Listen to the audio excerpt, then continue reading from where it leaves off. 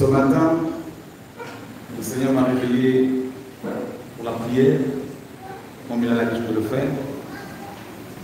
J'ai fait une prière selon 2 Corinthiens chapitre 13, verset 5. Et euh, vous savez, tout chrétien doit demander régulièrement au Seigneur où il en est avec lui. Et euh, nous devons constamment nous examiner. Et euh, nous devons faire des inventaires, comme dans les magasins, pour savoir quels sont les produits qui sont, euh, dont la, date de péremption est dépassée, et quels sont les produits qui manquent, pour pouvoir réapprovisionner cette, cette entreprise, ce magasin. Et nous devons agir de la même manière. Il ne faut pas marcher comme des aveugles. Il faut s'assurer que le Seigneur est constamment avec nous. Et c'est ce que le Seigneur m'a appris. Parce que nous faisons des choses, nous prions, nous allons ici et là, et nous avons, nous avons intérêt à demander à chaque fois au Seigneur où nous en sommes, comment il nous perçoit, comment il nous voit.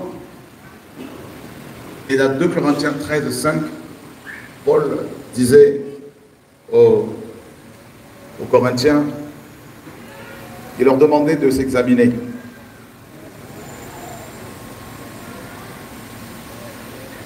Alors, 2 Corinthiens 13. Vous n'avez pas de Bible, frères Non T'as pas de Bible Comment ça se fait? Tu es baptisé? T'as jamais de Bible? À la maison? Alors, un conseil, quand vous allez à la prière, prenez vos Bibles avec vous. Amen. C'est important. Il faut toujours vérifier tout ce qu'on vous dit, tout ce qu'on vous enseigne. Tout.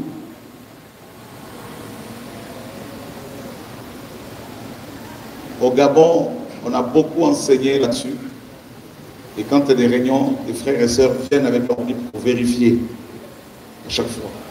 Parce qu'on peut vous mentir facilement. D'ailleurs, on va parler, euh, suite à ce que, après la lecture de ce passage, on va, je vais vous dire ce que le Seigneur m'a montré ce matin. C'est vraiment important. Qui sont ceux et celles qui n'ont jamais eu de Bible? Levez les mains, s'il vous plaît. Qui n'ont jamais eu de Bible Ok. Qui sont ceux et celles qui n'ont pas de Bible Mon frère, t'as pas de Bible? Comment ça se fait? Dis-moi un peu. Parce qu'on aime beaucoup partager ici, on aime beaucoup échanger. Voilà. Nous ne voulons pas organiser des programmes où les gens sont comme le mouton, où ils sont comme des animaux muselés qui n'ont pas droit à la parole. Il faut qu'on qu'on échange. Amen. On va lui passer le micro. En fait, euh, bonsoir.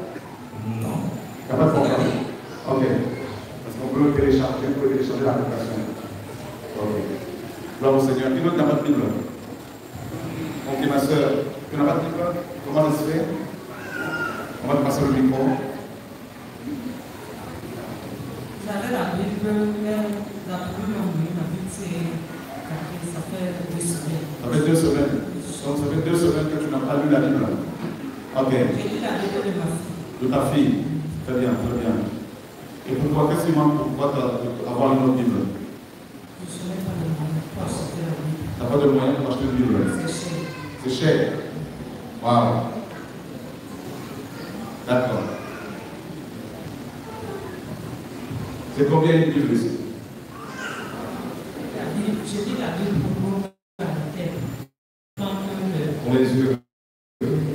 Tu as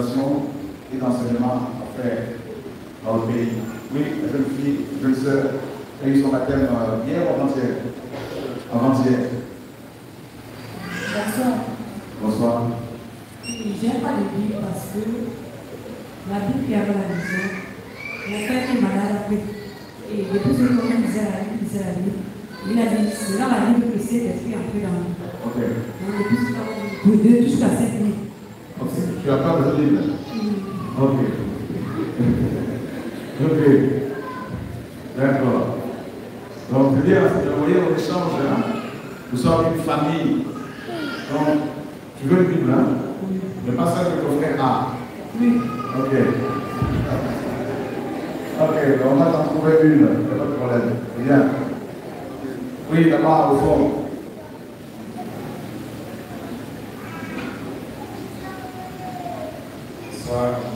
toi.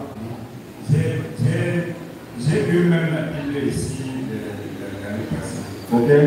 Oui, j'en ai encore d'autres. Les enfants sont partis en vacances, ils ont déchiré certaines parties. Mais quand je lis les autres pays, première compréhension me paraît un peu. Ah oui, tu as déjà eu exil ici, non? Oui. Donc là. Les enfants l'ont déchiré. Bah oui, mais là, il y a des gens qui n'ont jamais de Bible. Ah. Donc ça, c'est. Ah, il faut veiller. Oui, ma soeur.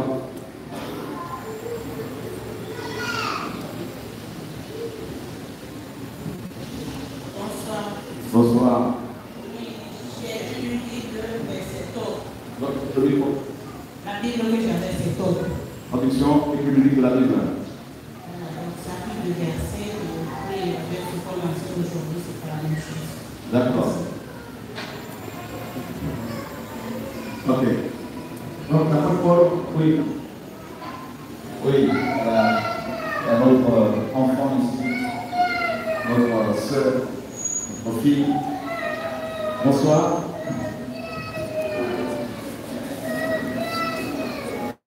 Tu as quel âge? 18 ans Ok, qu'est-ce que tu veux dire? Le micro.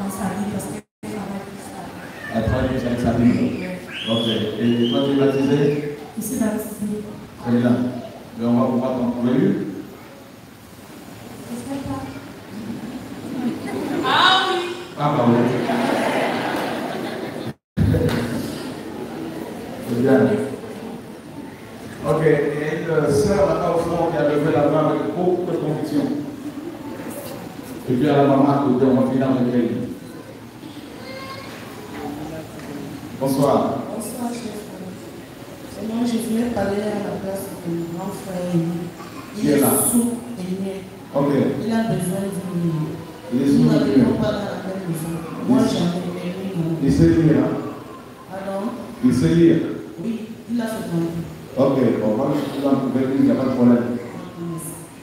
Ok, et puis on finit avec la maman qui est ici, qui a levé la main avec une grande foi, qui m'a remis coucher. Bonsoir maman. Moi j'ai la vie.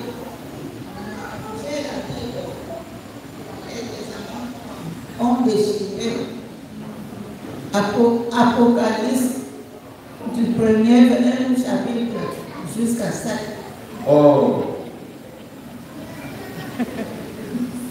Bon. Comme maman est assez âgée, exceptionnellement, on va l'aider pour avoir une Bible. Hein? Donc comme ça, notre vie ne pas qu'elle soit de nouveau déchirée. Voilà, c'est notre maman, n'est-ce pas On peut faire une exception. Voilà. Parce que la maman étant malade, elle n'a pas toujours euh, la, la force pour courir après les enfants. Le jeune frère, il est quand même assez rigoureux, il peut faire plus attention. Voilà, et on, verra pour la suite parce qu'il n'y en a pas assez pour tout le monde. Voilà. Bon, vraiment finir avec le frère qui a levé la main. Voilà. Bonsoir. Bonsoir. Oui. On temps de Bible, pour moi c'est une longue histoire, pour moi je n'ai pas la Bible. C'est une longue histoire. C'est une longue histoire. Ok. Mon histoire est que j'avais peut-être 10 ans. Ok. Ma mère m'a amené chez un marabout. Oh. Elle m'a amené chez un marabout. Ils ont coupé les feux la nuit, j'ai dit au sol. Ils ont tué les corps, versé le sang dans mes yeux. J'étais déjà au bout ce matin. Hein. Après, elles ont fini de tuer, le corps est versé le sang dans mes yeux, je suis rentré, je suis venu n'importe quoi. Je n'arrive plus, donc depuis ce temps, je ne sais pas si je monte ou je descends. De quel côté je parle? Jusqu'aujourd'hui. Jusqu'aujourd'hui. Et hier soir, quand on est quitté ici, à la prière ici. C'est toi qui as tu fumé Oui. Tu ne fumes plus depuis hier Depuis hier. Aujourd'hui, tu as fumé ou pas? Non. Pourquoi? Je n'ai pas fumé. Pourquoi tu n'as pas fumé? Juste parce que j'ai demandé au Seigneur qui me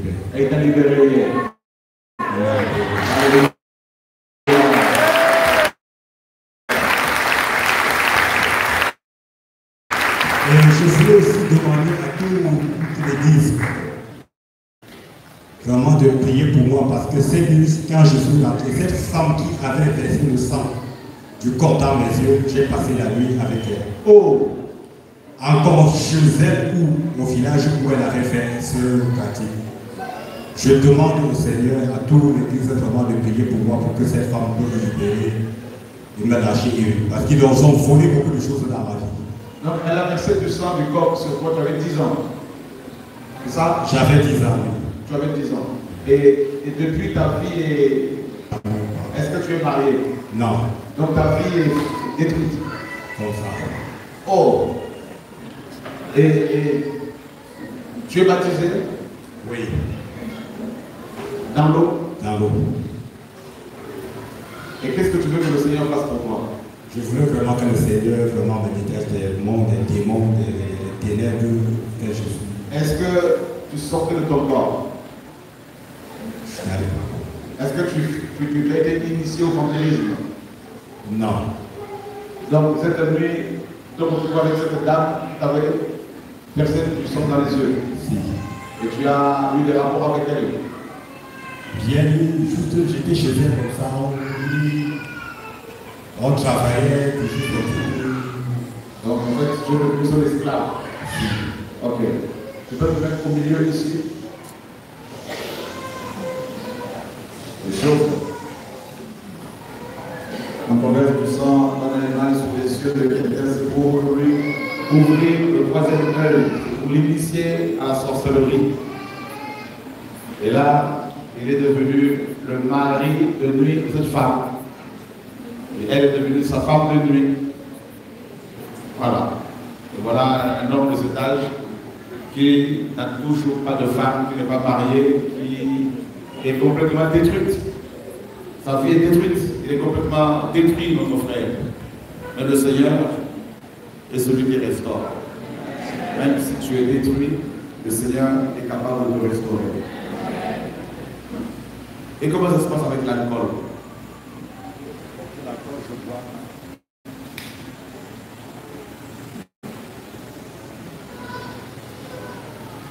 L'alcool, je bois quand Tu bois Oui Je bois quand je bois, bon, je ne reste pas comme ça, j'ai l'envie, mais quand je commence à boire, je bois tu t'arrêtes plus. Oui. Mhm. Ok. En fait, sa vie est vraiment détruite. Qui restaurer ça. Est-ce que moi je peux? Et vous Ok. Très bien. Mon frère David, Flavien venez l'entourer avec mon frère Freddy. On va chasser cet esprit tous ensemble de femmes de nuit. C'est pas normal. C'était au village. Ok. Donc c'est là qu'ils ont attaché son esprit, son âme, sa vie. Prions pour lui. Au nom de Dieu. Esprit de mari et femme de nuit. Démon, vous allez quitter cet homme. Maintenant, au nom de Yeshua, vous allez lâcher sa vie, vous allez abandonner son corps.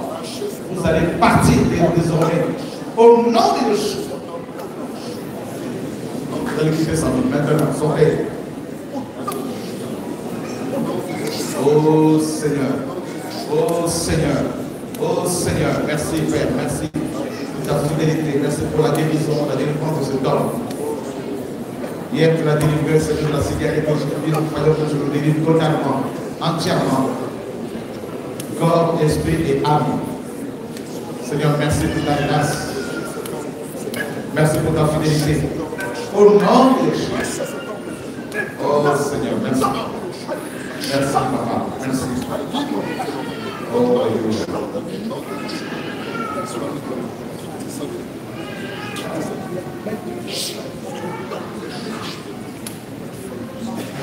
Tu as des enfants Tu as des enfants Combien? Quatre Ok. Avec la même femme ou avec plusieurs femmes Une seule femme Avec combien de femmes?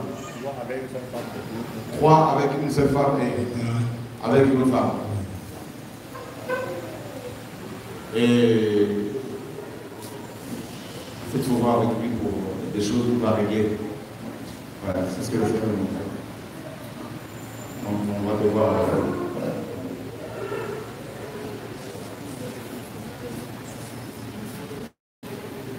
Et quand on amène des enfants pour aller à la gare, on croit bien faire, on les vend en 50. Voilà. Dans 2 Corinthiens 13, au verset 5, l'apôtre Paul dit Examinez vous-même, examinez vous-même. Si vous êtes dans la foi, reconnaissez-vous pas que Machia, au Machia est en vous À moi, peut-être que vous ne soyez réprouvés. Examinez-vous vous-même. Éprouvez-vous vous-même. Donc, on ne doit pas marcher, marcher, marcher, vivre comme si on était des animaux. On doit faire le bilan sur sa, sa vie. Pour savoir si notre conduite est en accord avec la parole, si le Seigneur est avec nous ou pas. C'est la prière que j'ai faite ce matin, quand je m'ai réveillé. Je lui ai dit, Seigneur, ok, est-ce que tu es encore avec moi ou pas Si tu l'es, parce que ça ne sert à rien de servir le Seigneur, de travailler pour le Seigneur, si le Seigneur n'est pas avec toi.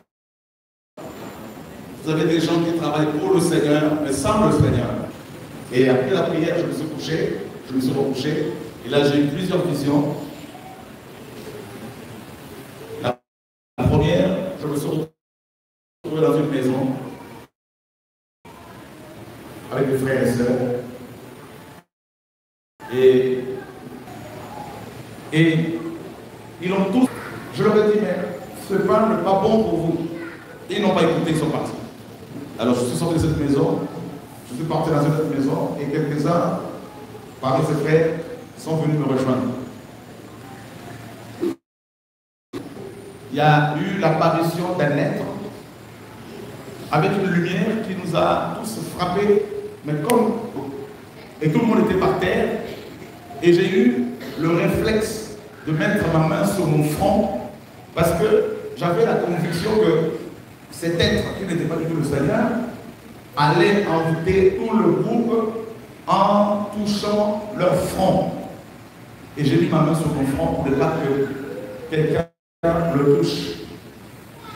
Et c'est exactement ce qui s'est passé. Dès qu'il touchait le front de quelqu'un, la personne touchait le front de son voisin.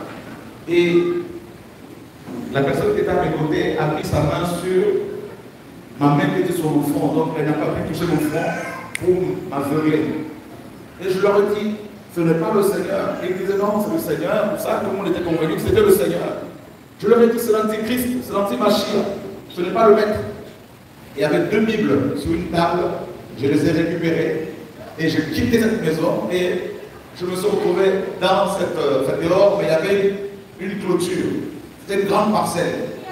Et l'une des femmes, l'une des femmes, des, des sœurs qui était là, est sortie en me disant, tous me disaient, tu ne dois pas nous quitter. Tu ne dois pas quitter cette, maison, cette parcelle. Et l'une des femmes avait une télécommande et elle a fermé de loin le portail. Un grand portail avec une clôture très très haute. Et j'ai commencé à courir vers le mur pour sortir. Et on me disait, il me disait, comment tu vas faire pour sortir? Parce que le portail est fermé. Je leur ai dit, je veux m'en aller d'ici. Parce que je ne veux pas prier pour la, personne que vous, vous adorez. Et vous ne devez pas m'imposer l'adoration de cet être qui n'est pas le Seigneur. Et une fois que je me suis approché de, de la clôture, j'ai dit Saint-Esprit aide de moi. Et je me suis retrouvé en train de, n'est-ce pas, m'envoler. Et je suis passé au-dessus de la clôture et dehors de la parcelle. Et j'ai commencé à courir et je me suis réveillé. Seigneur, j'ai compris que il y a une séduction, non seulement dans les nations, mais aussi ici au Cameroun, qui a atteint beaucoup. Dans la première vision, c'était un, pain pourri qui était proposé aux gens. Et ce pain, c'est l'image de la, des fausses doctrines, des faux enseignements. Quand j'ai entendu que on enseigne aux frères et sœurs qui suivent les enseignements, il y a même ici, que Jésus est le serpent puissant, que le venin, selon ces gens, sont, le venin est une bonne chose. Ces enseignements qui détruisent les âmes, j'ai compris. C'est du pain pourri qu'on donne aux gens. Et beaucoup sont séduits. Et il y en a qui vont revenir à la parole véritable, l'instruction du Seigneur. Et la deuxième vision, c'était une fausse fonction des faux miracles. Satan dit la parole dans 2 Corinthiens 13, 11 là-bas. Et euh, l'apôtre Paul dit, on peut le voir, 2 Corinthiens chapitre 11, pardon. 2 Corinthiens 11, verset 13. Car de tels hommes sont de faux apôtres, des ouvriers trompeurs qui se transforment en apôtres du Mashiach. Verset 14. Et cela n'est pas étonnant car Satan lui-même se transforme en ange de lumière. Ce n'est donc pas une grande chose si ces serviteurs aussi se transforment en serviteurs de justice. Mais leur fin sera selon leurs œuvres. Donc Satan, qui est complètement ténébreux, arrive à produire une lumière au point où des gens, des chrétiens, le prennent pour l'ange de lumière, alors qu'il n'est pas l'ange de lumière. Vous vous rendez compte? Au point où cette fausse lumière arrive à tromper les gens, à les éblouir. Et c'est grave. Et c'est exactement ce que Satan fait dans le monde. C'est exactement ce qu'il a toujours fait. Tromper les gens avec des doctrines de démons, selon 1 Timothée 4. Tromper les gens avec des faux miracles. avec des enseignements qui vous rendent captifs. Parce que dans cette vision, ils ont voulu que je reste dans leur, euh, euh, parcelle, dans cette maison. Et heureusement pour moi, je me suis sauvé. Et je me suis souvenu de la vision que le Seigneur m'a donnée il y a plus de dix ans quand je suis parti à Stuttgart en Allemagne. Dès la première nuit là-bas en Allemagne, lors de cette mission, il y a dix ans, plus de dix ans, j'ai eu une vision dans laquelle je me voyais avec des frères et sœurs et ils étaient en train d'adorer un faux Jésus. Et je leur disais, ils étaient tous à genoux devant lui. Je leur disais, ce n'est pas le Seigneur. Ils me disaient, si, c'est le Seigneur. C'est le diable qui s'est déguisé. Ils disaient, si, c'est le, Seigneur. Je leur, disais, je leur disais, non. Et à un moment donné, j'avais une Bible et ce faux Jésus est venu, il a pris, il a commencé à fuir avec. Je l'ai coursé, j'ai couru après, après lui, j'ai récupéré ma Bible et il s'est transformé, donc ce faux Jésus, en Satan. Et à un moment donné, je me suis retrouvé, il y a deux pigeons qui étaient venus me prendre pour m'amener sur une euh, espèce de tour sur laquelle il y avait une statue de faux Jésus. Et cette statue me disait que c'était elle, Jésus-Christ. Je lui disais, non, non, non, ce n'est pas toi le Seigneur. Et je disais, quel est le nom du Père Il me disait, il n'a pas de nom. Je si, dans la Bible, le nom du Père est révélé aux, gens. Il commençait à s'agiter, ce faux Jésus commençait à s'agiter. Et je lui dis, je veux voir le Père. Et le ciel s'est ouvert. Et j'ai vu le Seigneur Yeshua descendre. Et là, je me suis réveillé. Et j'ai compris que, comme le Seigneur le dit dans sa parole, comme Paul le dit, dans 2 Corinthiens 11, si quelqu'un vous enseigne un autre évangile, si quelqu'un vous prêche un autre esprit ou un autre Jésus, vous l'acceptez bien. Frères et sœurs, sachez que dans la majorité des assemblées dans le monde entier, il y a un autre Jésus qui est prêché. Dedans. Un autre évangile, il y a un autre esprit qui opère. C'est un autre esprit. Et cet autre esprit, c'est l'esprit de l'antichrist, l'esprit de l'antimachia, qui fait croire aux prédicateurs que malgré leur vie de péché, ils sont capables de sauver. Et c'est grave. Cet autre Jésus, cet autre Yeshua, vient avec des fausses prophéties, avec de faux miracles. Et des gens sont séduits. Des gens sont complètement enchaînés.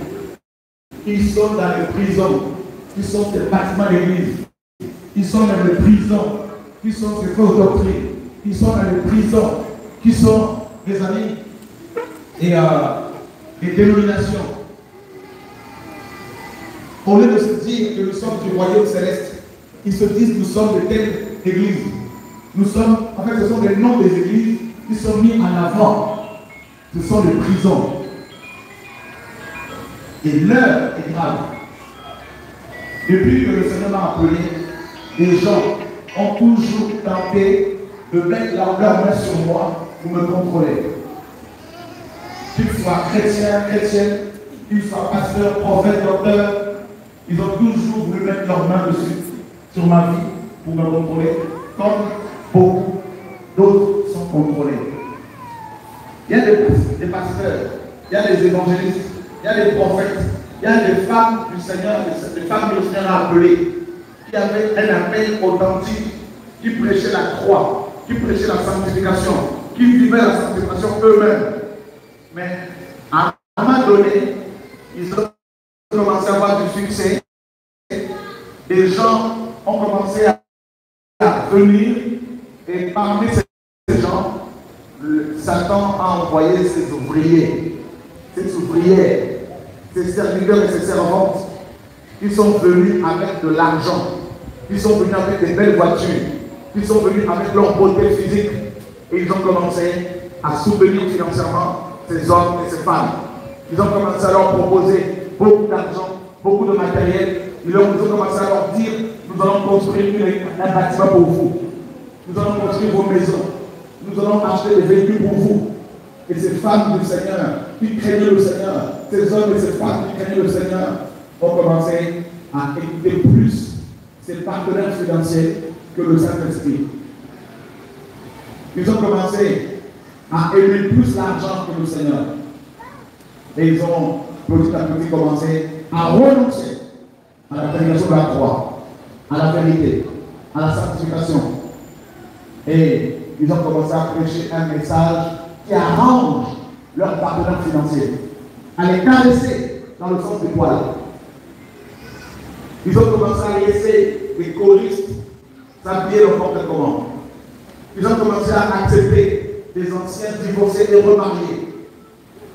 Ils ont commencé à laisser les pasteurs impublics exercer dans leur service. Ils ont commencé à chercher plus la connexion avec les pasteurs, les grands bishops dans le monde. Au Nigeria, aux États-Unis. Ils ont commencé à mettre leurs photos sur les bâtiments d'église. Ils ont commencé à mettre leurs photos sur leur Facebook. Ils ont commencé à parler plus d'eux que de leur vérité.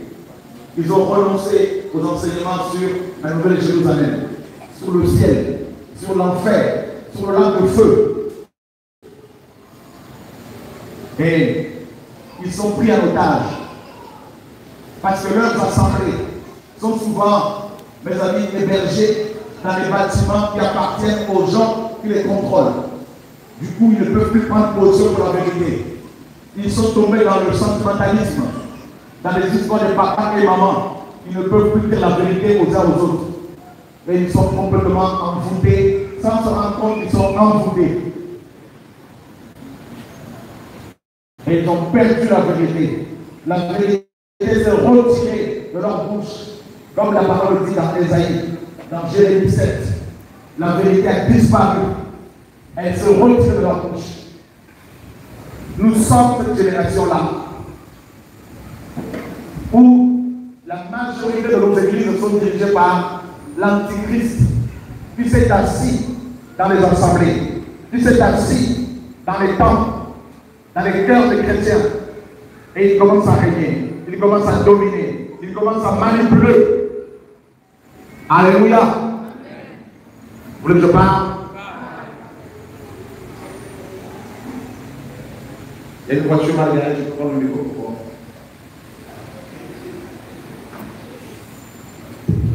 MT 114 IG de Toyota, écoutez son véhicule s'il vous plaît. MT 114 IG. Merci. Alléluia. Regardez bien, vous êtes là. Le nombre de chrétiens dans le monde entier qui sont enfermés dans des dénominations. Regardez autour de vous, vous êtes au courant de cela. Soyons sincères. Faisons le bilan. Faisons le point. Depuis que vous êtes convertis.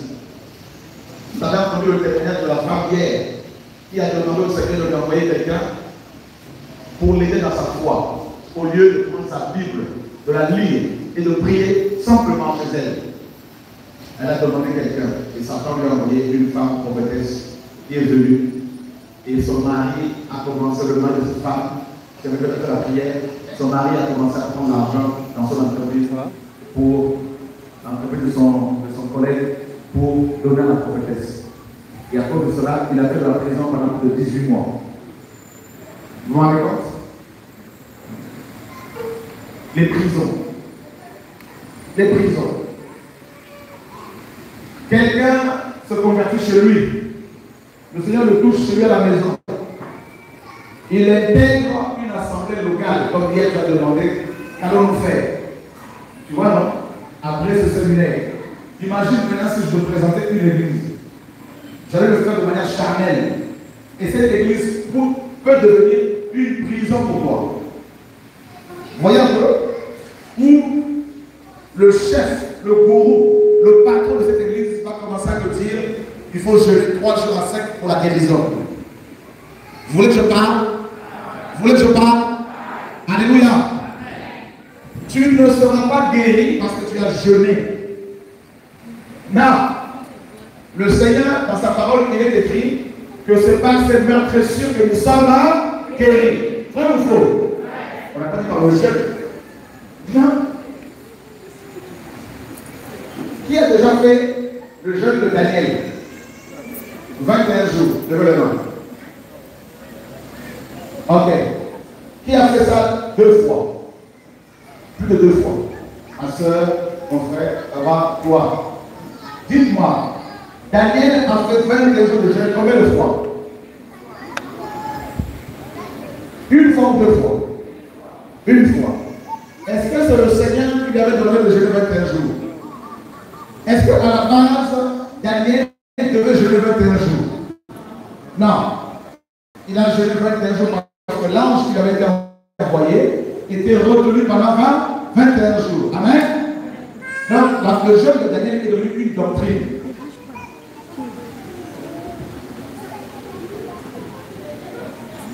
J'arrive. Elle a posé la question, et le jeûne d'Esther Trois jours sans manger, sans boire. Frères et sœurs, on vous a roulé dans la farine. Dis à ton voisin qu'il faut qu'il parle. Il faut qu'il continue à parler. Dis à ton voisin, ne dors pas. Vous connaissez la vérité Vous allez voir à quel point vous êtes des prisonniers.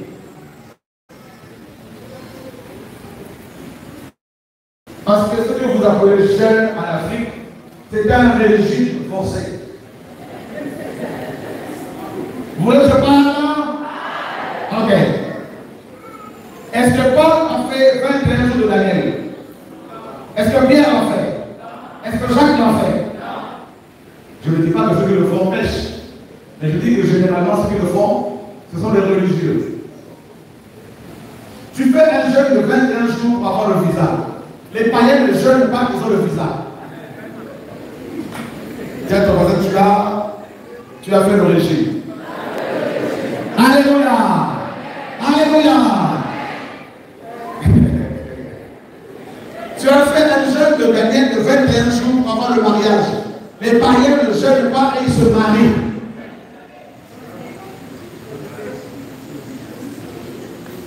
Alors que notre Père a dit, il n'est pas bon que l'homme soit un seul.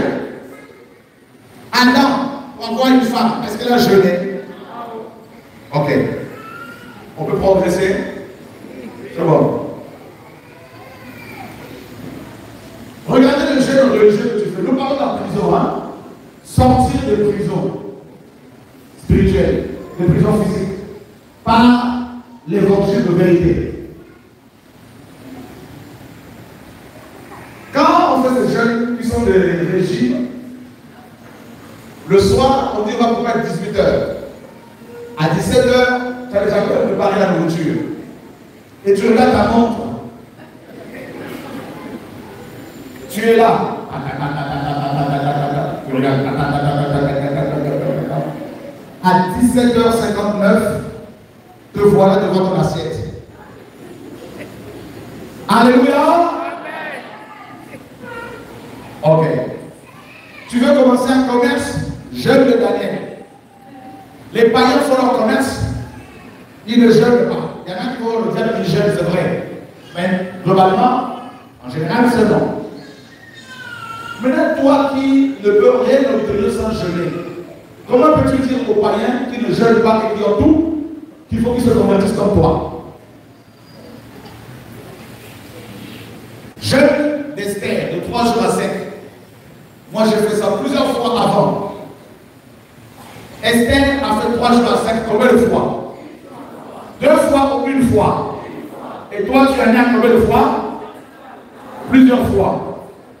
Et si tu as le problème des reins, parce que les reins ont besoin de l'eau, tu vas accuser ta mère de sorcellerie. Dis à ton voisin, c'est toi le sorcier. Alléluia. Seigneur, sauve-nous.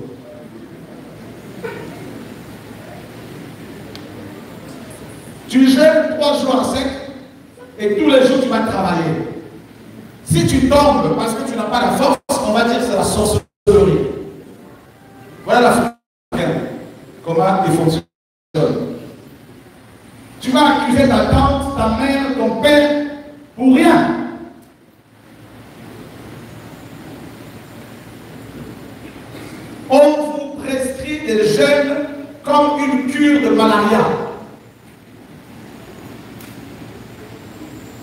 Le jeûne est biblique.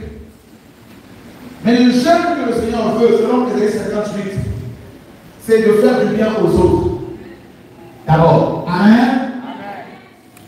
Tu jeûnes, mais même temps tu mens. Tu jeûnes, tu voles les autres. Tu, tu fais de l'escroquerie. Ça marche pas.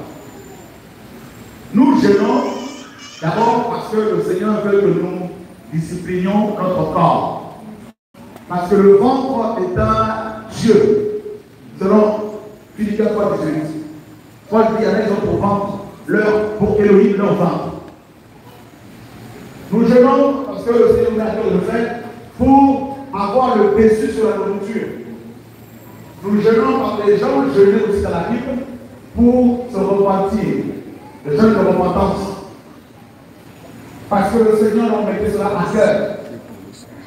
Mais si vous jeûnez pour avoir le travail, on ne vous avez le travail, ce n'est pas le jeûne qui vous l'a donné. Parce que si le vous donne le travail, le jeûne devient votre créateur. Parce que ce n'est pas grâce que nous les choses, Seigneur. Alléluia. Tout est grâce, tu le crois. Voilà. Tout est grâce. Il y en a qui vont jeûner en dormant par terre pendant 40 jours, ils ont des problèmes au niveau des côtes. Ils vont chercher la prière pour guérir. Ok.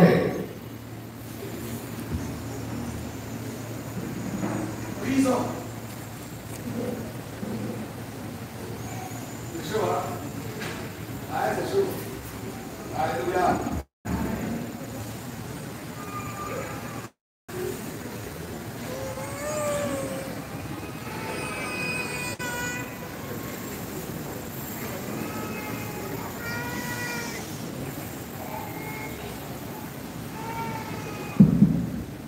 Et j'ai compris aussi qu'en Afrique, beaucoup de jeunes, pour se faire pardonner parce qu'ils ne cessent de pécher.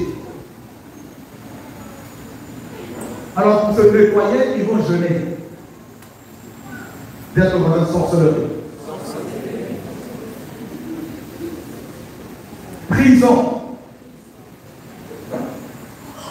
Il y en a tel- il y en a tellement en prison que. Attendez. Si un pasteur appelle ta femme ou mon frère, pour lui dire Viens travailler pour moi, c'est le contrôle. Il doit avoir ta permission. Il doit passer par toi. Et d'ailleurs, il ne doit même pas le faire. S'il veut avoir un secrétaire, comment dire, une femme, il doit plutôt se tourner vers un homme. Voyez le contrôle, la manipulation. Il y en a même qui vont recevoir des prophéties leur disant le jour de leur mariage. Voilà, le Seigneur m'a dit de vous marier le 14 janvier. Il y a ton voisin, en général, c'est la chair. Alléluia. La prison. Vous êtes tellement en prison que du lundi au lundi, il y a un programme dans le matin. Délivrance pour veiller. Samedi, réunion de papa pour de la jeunesse. Dimanche, culte, l'adoration. Alléluia. Et tous les dimanches, vous allez les voir, c'est qu'ils sont tous proprement habillés, parfumés. Ils vous disent, nous allons à, à l'église. Quand ne va pas à l'église, posez-moi la question pourquoi? Parce que nous sommes l'église. Comment voulez-vous aller à un endroit alors vous êtes cet endroit-là Acclame le Seigneur. Alléluia. Alléluia. Notre bien-aimé, notre sœur a dit hier, ben là, ça nous rend fous, hein, nous, hein. Ça le message, quoi. Ça nous bouscule, ça nous révolutionne. Ah oui, c'est le Seigneur fait quand tu nous réveilles.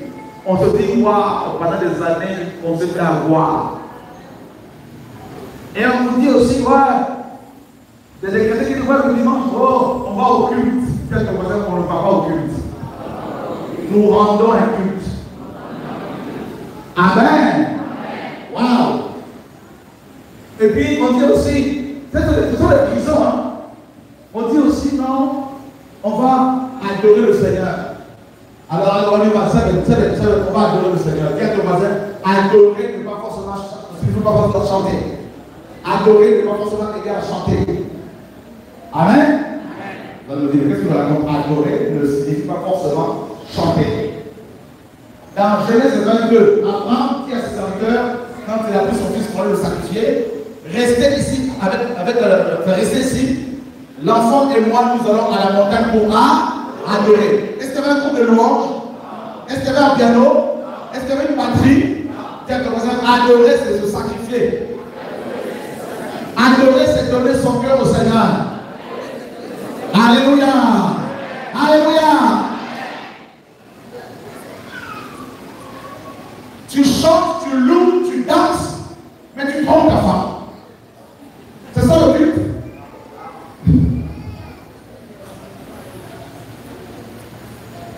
D'autres font les rendez-vous à l'église.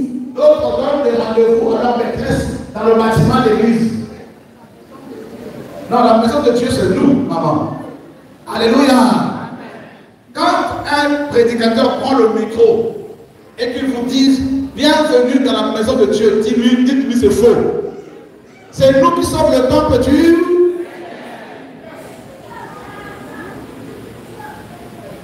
Ne savez-vous pas que votre corps est le temple du. Oh, ya, ya, ya, ya, ya, ya. Mes frères et sœurs, nous allons cotiser de l'argent, nous allons faire une collecte parce que l'église est devenue sale, nous allons faire la peinture de l'église. Dis à c'est faux. On ne peint pas l'église. C'est nous qui sommes l'église. Alléluia! Vous connaîtrez la vérité?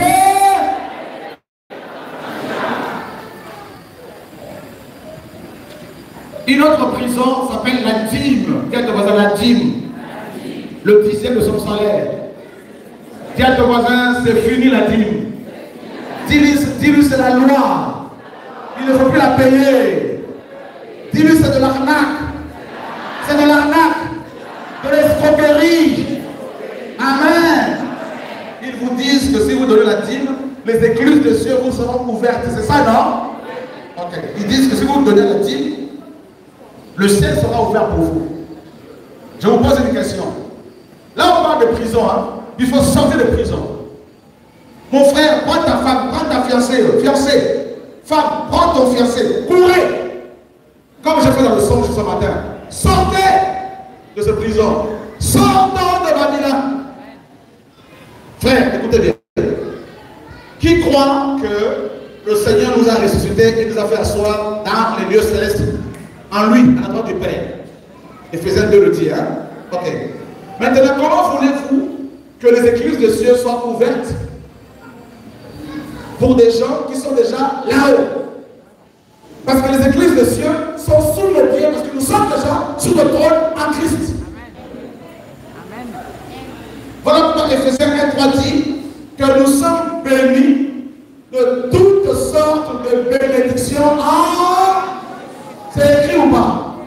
Tiens, ton voisin, on ne maudit pas celui qui est béni. Alléluia.